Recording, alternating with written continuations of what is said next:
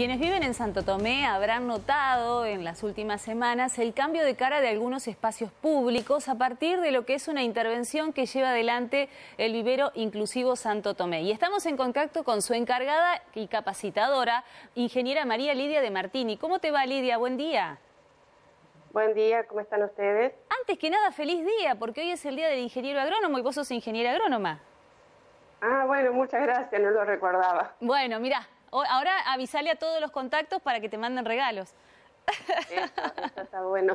Un mimo, aunque sea. Bueno, contanos de qué se trata esta iniciativa, porque la verdad que eh, estamos hablando de inclusión, pero también de devolverle algo a la comunidad.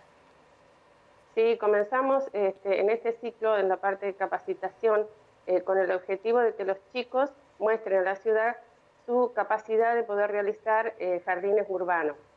Entonces comenzamos este, con el jardín de la municipalidad y eh, ahora también hicimos el jardín de las cinco esquinas, que es un lugar emblemático de Santo Tomé, continuando después con otros dos jardines más, que es el desvío vehicular Mitre y el jardín del Consejo. Todo esto lo hacen porque los chicos quieren demostrar a la comunidad que son capaces de realizar esos trabajos de jardinería que también pueden tercerizarse y hacerlo cualquier ciudadano de la ciudad de Santo Tomé. Contanos cómo funciona el vivero inclusivo y de qué cantidad de chicos estamos hablando en cuanto a la formación. Bueno, empezamos con mucha cantidad, más o menos como 20, eso empezamos hace cinco años atrás, y después, este, bueno, como todo fue mermando y más mermó ahora aún con la pandemia. Eh, igualmente tenemos ahora 10 chicos capacitándose algunos ya están hace cinco años desde que comenzó el vivero y son los que ya empiezan a hacer esta parte del aprendizaje de jardines urbanos. También ellos tienen este, el trabajo de realizar eh, huertas en su casa, porque también están capacitados para la producción hortícola. Así que ese es otro de los objetivos de este año para los chicos del vivero inclusivo.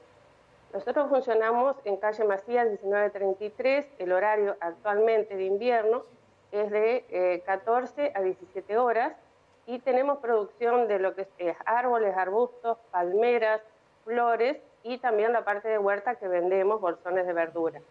O sea que eh, la idea es, digamos, autofinanciarse con, con, esta venta y que además los chicos puedan vender lo que producen.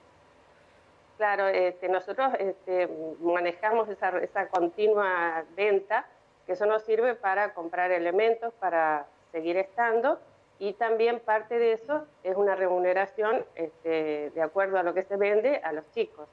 Por eso es importante que la comunidad, así como los chicos hoy se vuelcan a la comunidad, la comunidad también nos visite, eh, vean el trabajo que ellos están haciendo y eh, demuestren su positividad en cuanto al empoderamiento en la sociedad. Y además eh, es una producción ecológica, así que estamos también hablando de que estamos, o, el consumo de esos alimentos es de primera mano, de primer nivel. Sí, nosotros no utilizamos productos químicos, hemos llegado ya a un equilibrio ecológico en el, en el medio, en el ambiente, en lo cual no tenemos ni siquiera que aplicar productos orgánicos.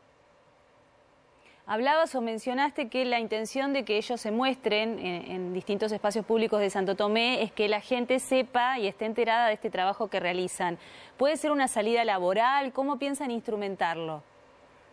Claro, la idea es este, bueno, ir eh, tercerizando, por eso le digo, haciendo trabajos de jardinería, pequeños trabajos de jardinería. Algunos lo pueden realizar con un pequeño acompañamiento y otros ya pueden realizarlo solos. Así que el que necesite un trabajo de jardín, jardinería, plantación, eh, conducción de especies y mantenimiento, nosotros estamos en, disposición para que se acceden al vivero y ahí arreglamos este, todo el tema de dónde es y acompañarlos y llevar las especies también de las flores y plantas que tenemos. O sea que ustedes brindan el asesoramiento completo y además la mano de obra. Sí, exactamente. Y respecto a los resultados en lo terapéutico, en lo social, ¿qué pasa con estos chicos que se integran a la actividad eh, fuera ¿no? del vivero? ¿Qué resultados ven ustedes o qué les cuentan las familias? Bueno, el, cambio de conducta o el cambio de tener una responsabilidad, eh, eso ha sido muy útil, eso nos cuenta la familia. O sea, ellos ahora, nos costó, ¿eh? pero ahora el vivero es de ellos, ellos son responsables este, vamos cambiando de áreas y ellos son responsables de las actividades que ahí se realizan, de su lugar y de sus herramientas. Eh, y en la casa también este, han cambiado muchas actitudes, eh, así que la familia sí, la familia acompaña y apoya ese trabajo. Qué lindo, la verdad que eh, de solo escucharlo uno entiende la, importancia que tienen este tipo de emprendimientos, ¿no? De que existan estos lugares que son como pulmones en medio de todo lo que pasa alrededor y donde seguramente en otras circunstancias estos chicos no tendrían esa oportunidad. Exactamente.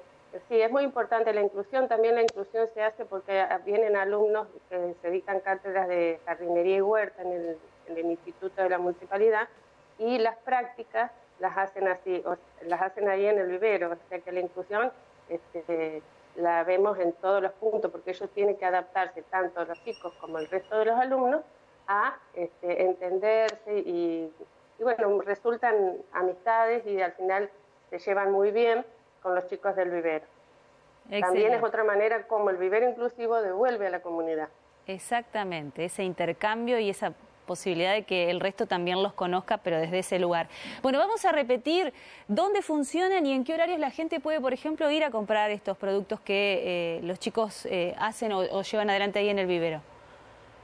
Bueno, el vivero funciona en calle Macías 1933. Es en la zona de la Costanera, en el edificio del ex INALI, eh, ahora edificio de la municipalidad, en el horario de 14 a 17 horas, por ahora por el invierno. Ya en septiembre, generalmente son tres horas, en septiembre lo vamos a alargar un poquito más. ¿Esto todos los días de la semana? Todos los días de la semana, menos el fin de semana. Ah, sábado y domingo no, porque acá hay gente que vive en Santo Tomé quiere saber si puede ir el sábado. Bueno, eh, vamos a implementar eh, a partir de septiembre, vamos a empezar a la mañana, los sábados de mañana. Buenísimo, porque viste que el sábado siempre puede ser la posibilidad o la opción para la gente que trabaja. empezamos, pero en invierno como que uno, en invierno el jardín como que uno no lo mira porque casi ni sale, entonces pero ya en septiembre la gente empieza a tener otras miradas del jardín y, entonces sí, vamos a empezar a abrir porque hay mucha gente que ya nos pidió los sábados estar. Bueno, habrá que esperar a septiembre entonces. Te agradezco mucho, Lidia, te mando un abrazo grande, un abrazo a todos los chicos del vivero. Y bueno, y quien te dice más adelante los vayamos a visitar personalmente. Ah, sí, sería muy, muy bonito y muy bueno. A los chicos les gusta mucho que la gente los visite, así que los esperamos a todos y le agradezco enormemente esta entrevista. Bueno, gracias y otra vez. de ellos. Feliz día, muy amable, gracias. Gracias. Hasta, luego. María Lidia de Martini, entonces capacitadora y encargada del vivero inclusivo de Santo Tomé.